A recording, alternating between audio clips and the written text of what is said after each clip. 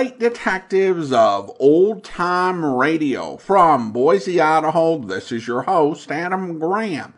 If you have a comment, email it to me, box13 at greatdetectives.net. Follow us on Twitter at Radio Detectives and become one of our friends on Facebook. Facebook.com slash Radio Detectives. Today's program is brought to you in part by the financial support of our listeners. You can support the show on a one-time basis at support.greatdetectives.net and become one of our Patreon supporters for as little as $2 per month. Just go to patreon.greatdetectives.net. But now it's time to get into this week's episode of Casey Crime Photographer. And the original air date on this one is November the 9th of 1950, and the title is Woman of Mystery.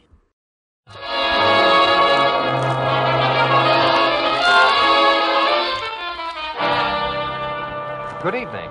This is Ken Roberts inviting you to listen to another adventure of Casey, crime photographer. Ace cameraman who covers the crime news of a great city. Our adventure for tonight Woman of Mystery.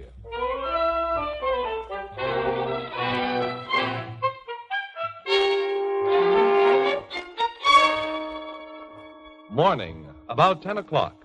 In a private office at police headquarters, a telephone rings and. Homicide Bureau, Captain Logan speaking. Is this the place to report a murder? Yes? I think I've got one for you. Oh, who's this speaking? I'm Lizzie Banks. To be really proper, I'm Mrs. Charles Peter Banks. Only my husband's dead, and I'm a widow. Uh, what's your address? 1221 Steger Street. Uh, 1221 Steger. That's right. I- It's the lady who rooms with me that's been killed, I think. What makes you think? Well, you get out here and peek through the keyhole of a door, like I just did, and you'll see. She's lying in a pool of blood, and there's a knife handle sticking out of her bag. Uh, we'll be there right away, Mrs. Banks. I'll be waiting for you. Goodbye. Uh, Sergeant Martin, Yeah, Captain? tell the tech squad and the doc to follow us to 1221 Steger Street. Uh, you go there with me. Yes, sir. What's happened at 1221 Steger Huh? Street, huh? Oh, good morning, Captain Logan. Now, what are you two doing Why here? don't we usually drop in sometime during the day to inquire what's happening in the murder department? And it seems we picked just the right time today. Okay, Miss Williams, you and that lug with the camera follow my car.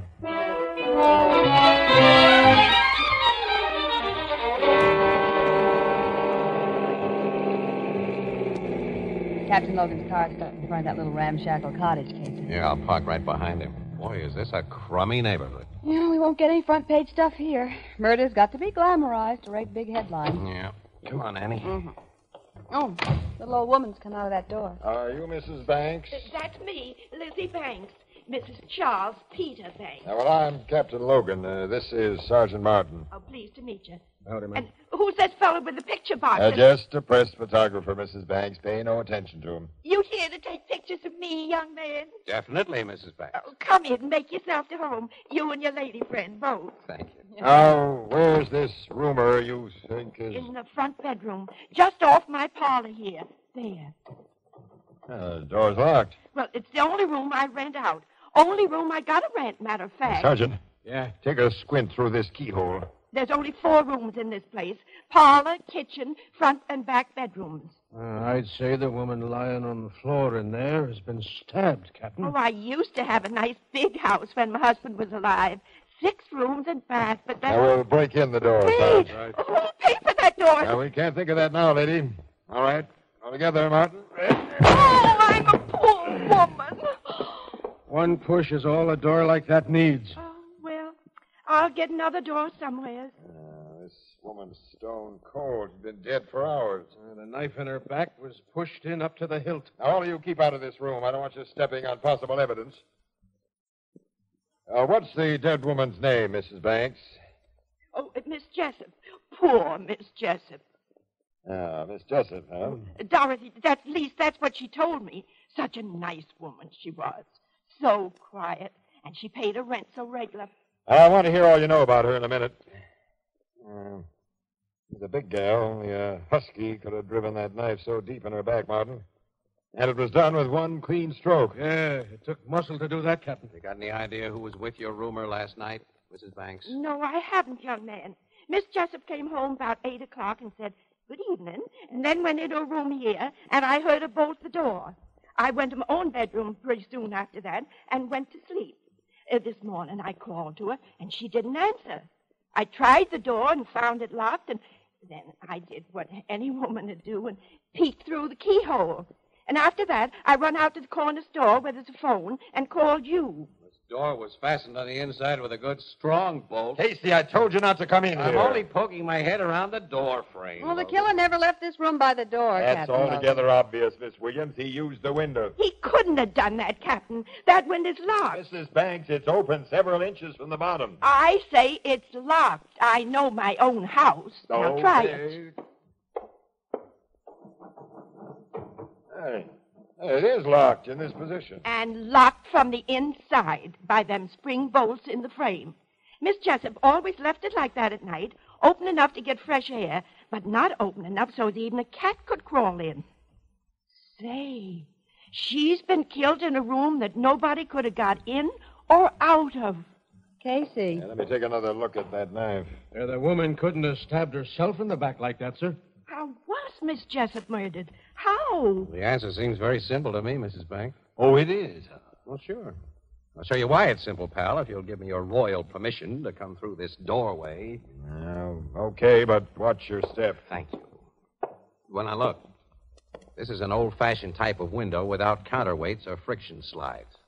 You raise or lower the sash, you pull out two spring catches on the side. I know that. What I don't know, Wait a Casey, is- minute. Wait a minute, pal.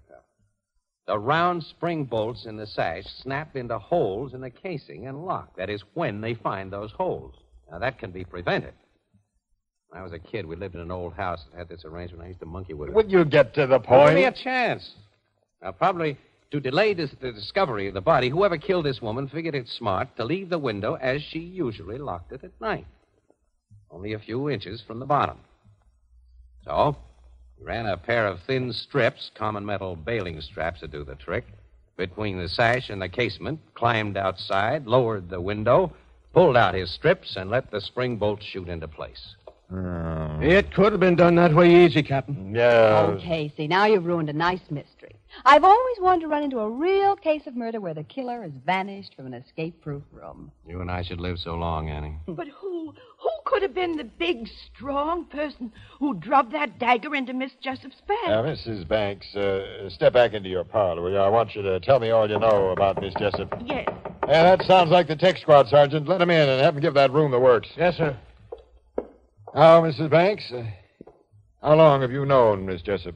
Only two months, Captain, since she rented my room. I don't really know anything about her at all, except she was a woman of mystery. A woman of what? Mystery, Captain. A woman of mystery.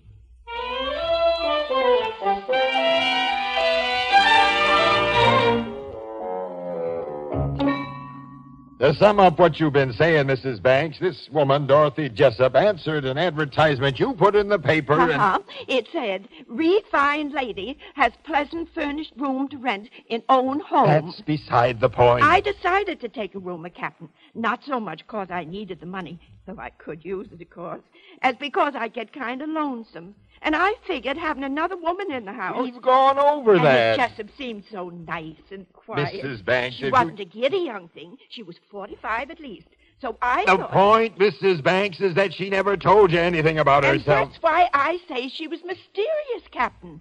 Most women do tell things. Women like to talk. Yeah, I'm getting the proof of that. What? Ah, take it easy, Logan. Take it easy.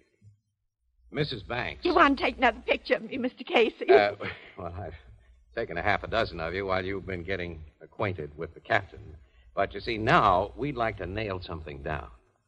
Now, did Miss Jessup ever say or do anything to give you the idea that she had secrets? Secrets that might possibly explain her murder? She certainly did do something. Oh? She come into my house with a suitcase. And from that day on, she never went out of her room without leaving that suitcase locked. How did you discover that? I. How do you suppose I discovered it? A body's got every right to find out whether folks distrust him and lock things up. Oh, Sergeant Martin. Yes, sir. There's a locked suitcase in the dead woman's room. Bring it here if the tech men are finished with it. Okay, Captain. I was just coming out for you.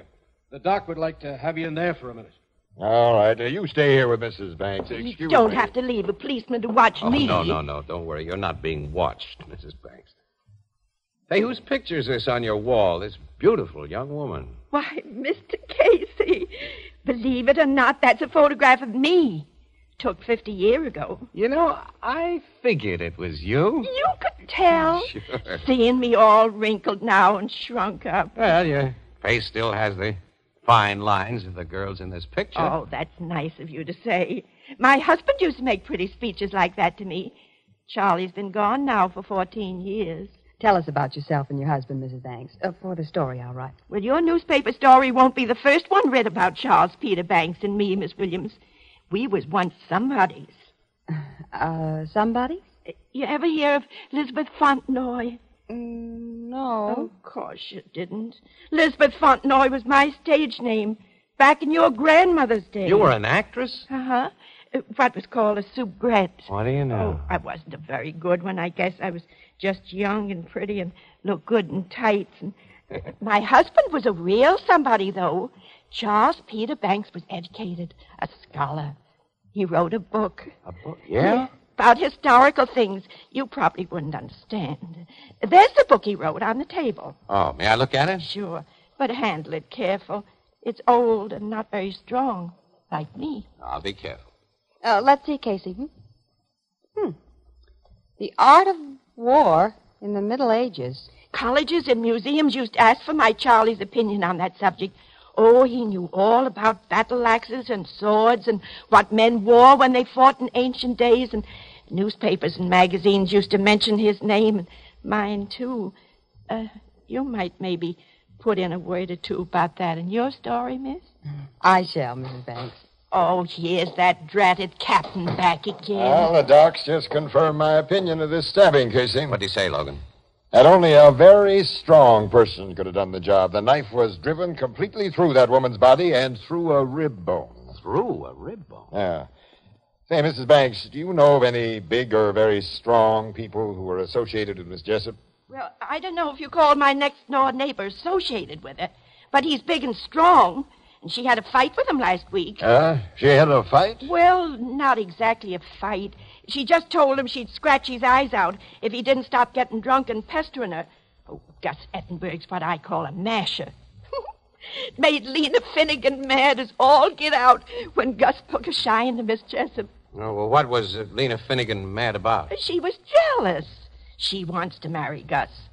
They'd make a good pair. Lena's big as a skinned horse, just like he is. At last, you're telling me something that may help my investigation. Now, hold your horses. I don't think Gus or Lena killed Miss Jessup, though I might be wrong. Have you looked into her suitcase yet? No, but I got it here. Also, the key to it, found in the dead woman's purse. I'll open it now, and let's see. Hmm, only a few papers inside. Let's see what they are. Hey, look at this. I've seen documents like that before. It's a parolee's discharge from Avon Prison. In the name of Dorothy Jessup Prentice. Dorothy Prentice. Why, she's the dame who murdered yeah, the... yeah, I, I remember reading about that case. The parole board let her out last spring after she'd served 20 years of a life sentence. You mean my roomer was a murderess? It sure was. She carved up a guy named Lou Costa, who was a big rum runner back in Prohibition days, Mrs. Banks. And now she's been killed with a knife. Casey, this is finally beginning to look like front page. I'll say it is. We can resurrect the story of the Costa murder. Dorothy Prentice's trial, her 20 years in prison, everything. Oh, I never would have dreamed. Now I can figure why she was scared of that man. Uh, man. What man? The mysterious man. Oh, Mrs. Banks. No, lady, will you please talk straight? She told me if this man ever come to the house that I was to say she didn't live here. She described him to me, and then one day he did come. I did as she asked, and he went away. But later, only two or three days ago, I seen him watching the house. And when I told her, she like to died of fright. Now you tell me about this. Well, you didn't ask me about the mysterious man before. Oh, Of course, now I figure he was a detective who was watching her. Mrs. Banks, let me Ah, figure. Hold it, hold it, pal. Mother Banks, will you describe the mysterious man to me? Of course I will, boy. He was a big, gray-haired fella with a little black mustache and a long scar on his left cheek. A scar? It ran from the bridge of his nose right down to his jaw. Logan. Yeah. She's described Mike Costa. The brother of the rat Dorothy Prentice killed. Mike's one of the toughest crooks in my book, and he's never been known to forget a grudge. He's paid that dame off for knifing his brother. Oh, Casey, will this be a story? And I'll be in it, Miss Williams. I'll say you'll be in it, Mrs. Banks, as the star witness. Put on your hat and coat, Mrs. Banks. We're going to headquarters where you can look at Mike Costa's picture. And if you identify him, this case will be all washed up.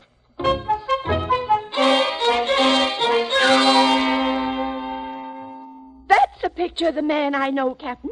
That mysterious man Miss Jessup was afeard of. Sergeant, get out a pickup order on Scarface Mike Costa. Have him brought in here and quick.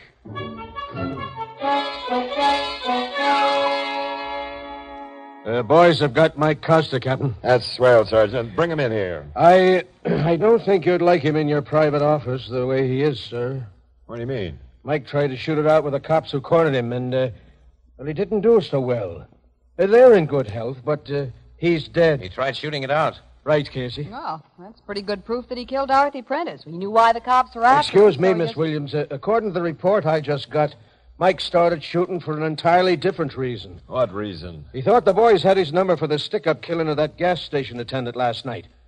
Captain, he was pulling that stick up way over on the east side at the very time Dorothy Prentice was being stabbed away over on the west side. Are you sure? Yes, sir. He's been positively identified as the stick up killer. There goes my case against Mike Costa. Mm, and my beautiful corny story about a brother's revenge. Hmm. The death of Mrs. Banks, woman of mystery, is becoming mysterious after all.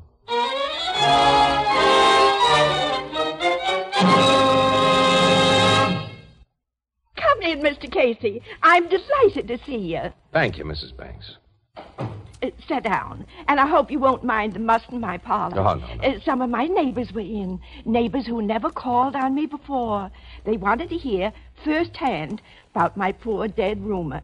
They just left, and I ain't had time to clear up the tea things we use. Can I give you a cup of tea? No, no, thanks. No, Mrs. Banks, I, uh, I came here for a talk.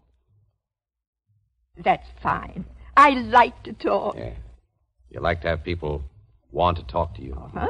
Guess everybody wants that. especially those who've been a somebody, like you were. Oh, I was never much. Just an actress without much talent. My husband was really the somebody. Yes, I uh, stopped in at the public library this afternoon and looked over the book he wrote. You did? Mm-hmm. Yeah. Yes, I found his The Art of War in the Middle Ages pretty highbrow stuff. A whole lot of it was way over my head, but it gave me an idea. Just like it gave you one. I don't know what you mean. You killed Dorothy Jessup Prentice, didn't you? Of course, you're joking. No, Mrs. Banks. Young man, I weigh just 87 pounds in my heaviest coat and winter galoshes. Are you saying that I drove a knife completely through that big woman? Yes. And you did it from outside of a locked window. Exactly how did I do that? You did it with one of the medieval weapons your husband wrote about. The kind that could throw an arrow, a spear, and a knife with accuracy and silence and great force. Like modern guns, some of those old contraptions could be operated by a child or a weak little woman. The window was open three inches. The knife was shot through that opening. Hmm. you figured you were creating a really great mystery. That appeal to the dramatic instinct no actress ever loses. Well, you're pretty smart, young man. You know, I never figured that window could be shut and locked from the outside the way you said. Uh, you kind of spoiled the mystery. Hmm. You admit you killed Dorothy Prentice. Of course I don't. I'm just talking. It's nice to talk, even on a crazy subject. Why, in your opinion, did I kill that woman? In order to get attention? The attention you've been without for so long? Well, I've been pretty lonesome. I've wanted folks to notice me again, but do you think that's a good enough motive for what you say I've done? It wouldn't have been for you if you hadn't learned that your roomer was a freed murderess. You considered her life of little value. It didn't have any value. She was a bad woman. I went to the library, got old newspapers, and read about her case. That's how you found out about Scarface Mike Costa, the brother of the guy she killed. Uh-huh. Even come across some pictures of him. He never came here looking for Dorothy Prentice, as you said. No. But that seemed a good story to tell the cop. But I guess you're ready now to tell the true story to the cops. There ain't been much in the papers about me during the last couple of days, and next week there wouldn't be nothing, maybe. And folks would stop calling on me, and I'd be alone again. By me telling the cops, I won't be forgotten so quick. And you'll put some more pictures of me in the paper soon. Yes. We'll go down to headquarters right now, and I'll confess to everything you've said.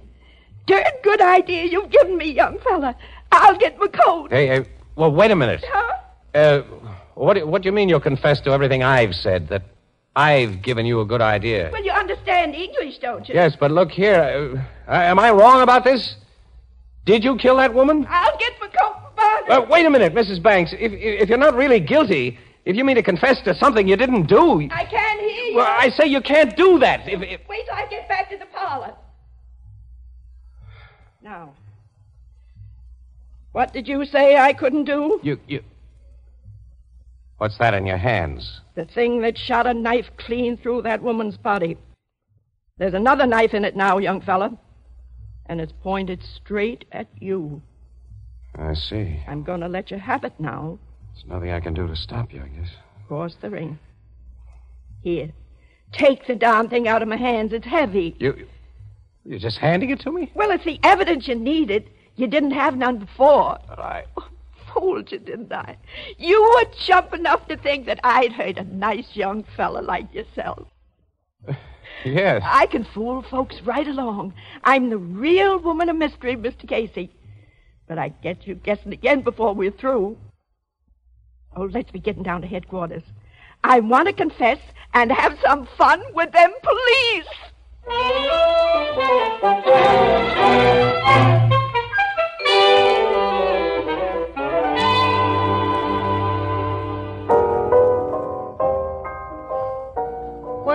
The gadget Mrs. Banks had, Casey, that shoots knives? That was a crossbow, Ethelbert.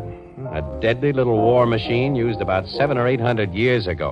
Crossbow? Uh huh. It's a short bow set across a hunk of wood that was shaped pretty much like a rifle stock. It was made to shoot short arrows or, or bolts that were about the length of modern carving knives.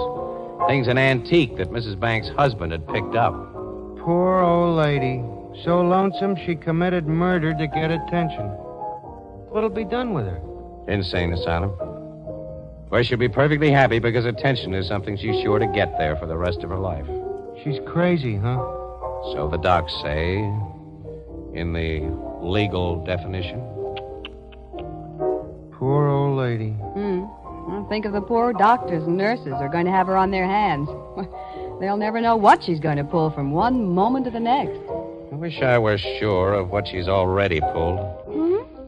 What, what do you mean, Casey? I'm never going to be absolutely sure she used that crossbow, that she's really a murderess. I'll never be really sure that she hasn't played me for a chump in order to get what she wanted. The solution of this mysterious mystery is still a mystery, huh? I don't think so, but. Ah, nuts. Look, if, if you two won't kibitz too much, maybe I can really dope out that third race.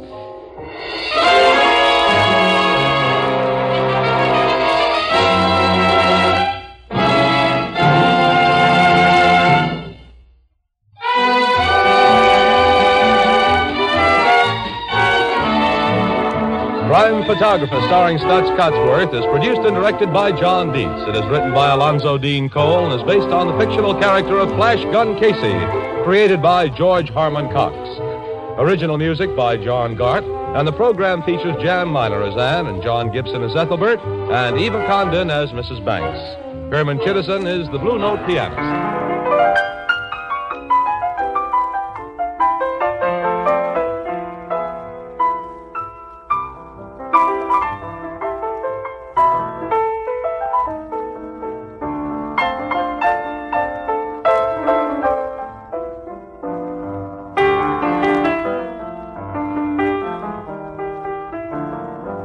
This adventure of crime photographer starring Staats Cotsworth as Casey came to you through the worldwide facilities of the United States Armed Forces Radio Service, the voice of information and education.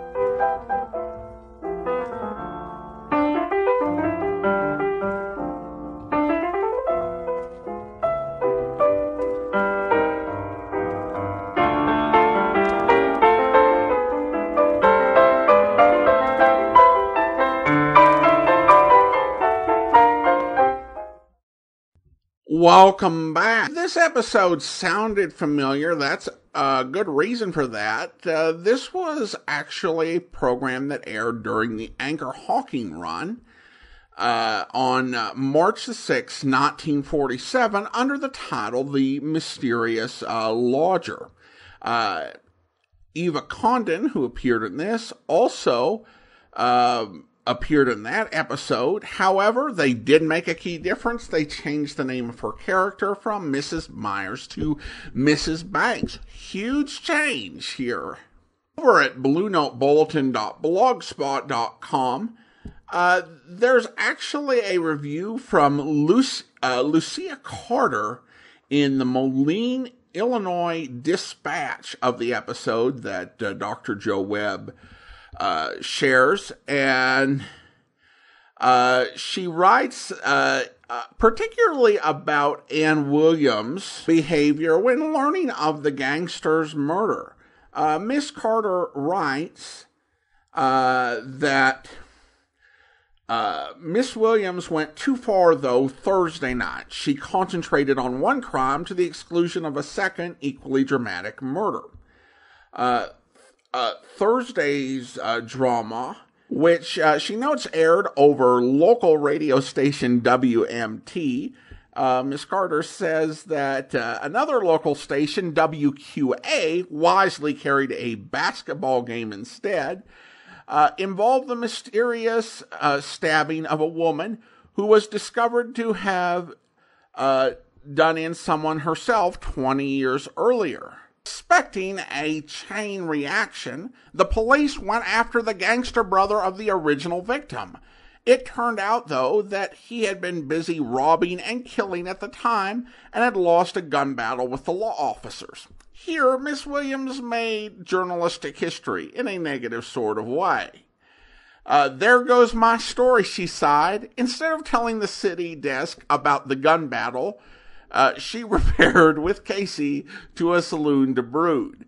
Miss Williams' negligence might be explained away if she were employed by a newspaper with a large staff of police reporters.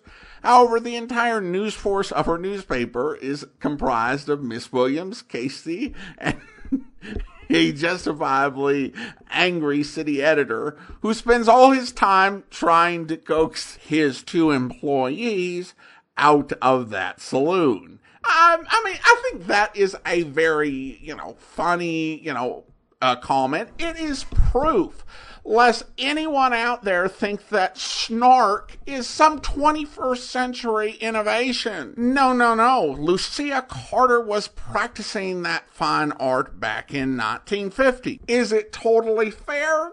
No, no, not really. Because Miss Carter is assuming that Casey and Anne are the only people working on the paper because Casey Ann and the managing editor are all we hear.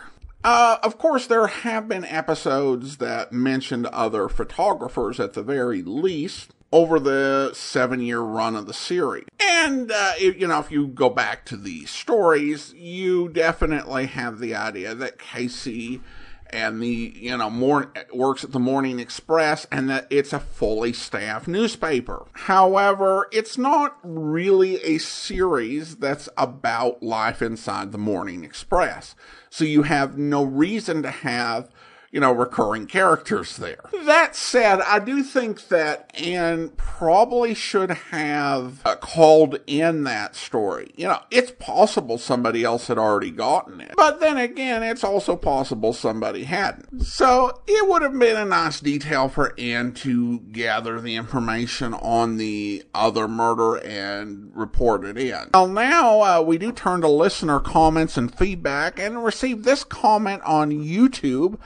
I'm amazed how much I miss Anchor Hocking. I, I definitely hear you on that, uh, Remo. Those ads were just such a classy uh, bit of uh, promotion. Tony Marvin really made them fun to listen to. I also think the budgets were a little higher on the Anchor Hocking shows. But regardless, if I had to choose an era to have new episodes of Casey emerge from, it would definitely be from the Anchor Hocking era. Even though, you know, the that era has got a much higher percentage of episodes uh, available compared to different sustaining eras or the uh, Philip Morris era or the uh, Toni Home Permanent era. I don't think it's even close uh, in terms of just the quality of the overall production. That uh, if I had my druthers,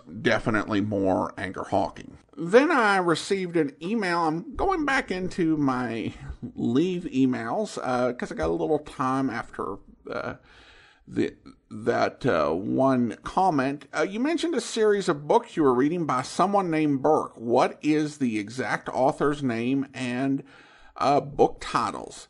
And I looked back over the time period, and uh, what Joe was referencing were books by J. Mark Bertrand. No, I think I may have pronounced it Bertrand.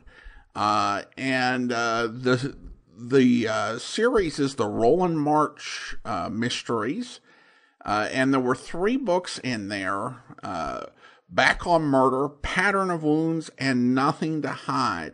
And these were all published uh, back in uh, the early 2010s. Uh, and uh, to be honest, they are really good books. I enjoyed them uh, thoroughly, and I wish that Mr. Bertrand would make more just a really good modern uh, procedural series that uh, left me wanting more. Thanks so much for the question, Joe. And now I do have an announcement. And that is that we only have three more episodes of Casey Crime Photographer left. So uh, we will, in four weeks, be getting into the adventures of Sam Spade. We will start with a Screen Guild Theater adaptation of the movie. We did play that on the podcast previously, but that was for episode 100 special. I think that after nearly uh, 3,700 episodes since then, people could do with a little bit of a refresher. But then we'll get into the series proper the very next week. So, uh, in four weeks, uh, we will be dedicating Mondays to the adventures of Samuel Spade. Now let's thank our Patreon supporter of the day. Thank you to John, Patreon supporter since October 2017 currently supporting the program at the rookie level of $2 or more per month. Again, thanks so much for the support, John. And that will do it for today. If you are enjoying this podcast on YouTube, be sure to like the video, subscribe to the channel, and mark the notification bell. Next Monday, we'll be back with another episode of Casey Crime Photographer. But coming up tomorrow, uh, it's time for another adventure of Mr. Chameleon, where. Mother, here, a detective named Chameleon is looking for you. And he found her, Mrs. Holt. I'm Chameleon. How do you do? Oh, how do you do? Well, so you found my daughter. Isn't that nice? Yes, indeed. Uh, you lied to me, Mrs. Holt. You said that you didn't know where Cherry was. Why'd you lie? Well, I, I wasn't sure she was here in Eric's studio. I think you were. You knew that she'd come to get those letters. The letters that you wrote Eric Belden threatening him. Threats were the only thing that Eric understood. He- Oh, not that he wasn't a fine man in many ways. It was a friendly divorce, you know, Mr. Chameleon. Just incompatibility. In this case, Mrs. Holt, the word incompatibility may simply be another word for. I hope you'll be with us then. In the meantime, do send your comments to box13 at greatdetectives.net. Follow us on Twitter at Radio Detectives and check us out on Instagram, instagram.com slash greatdetectives. From Boise, Idaho, this is your host, Adam Graham, signing off.